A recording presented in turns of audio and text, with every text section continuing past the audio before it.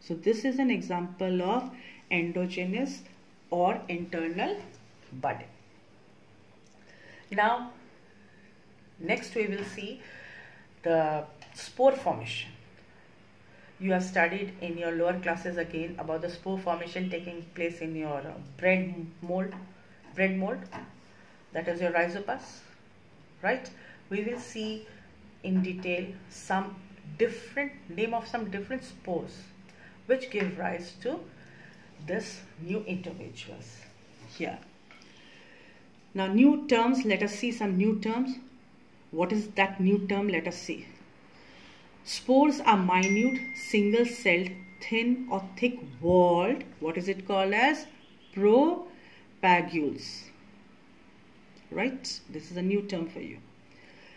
Spore formation is common in your Monera, Protista, algae and fungi. Okay, so here you will see that spore formation. Now the spores can be formed in a special structures. Right, they have got a special structures where you these spores are formed. For you know, this is a very common example, and you have always seen in uh, a mucor rhizopus that it has got a bob-like structure. And what is this whole structure called as? Sporangiospore? okay and in this you will see that spores are being formed. And these spores formation takes place and gets dispersed. Right. Now when you're talking about spores spores can be motile and non-motile.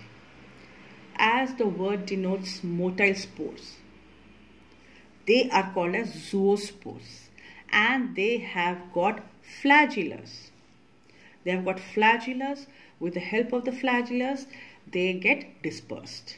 And a very good example of that is your chlamydomonas. Here just once uh, typing error is there student. Here it will be A. So please note that error. Over here it will be A. Now next is your non-motile spore.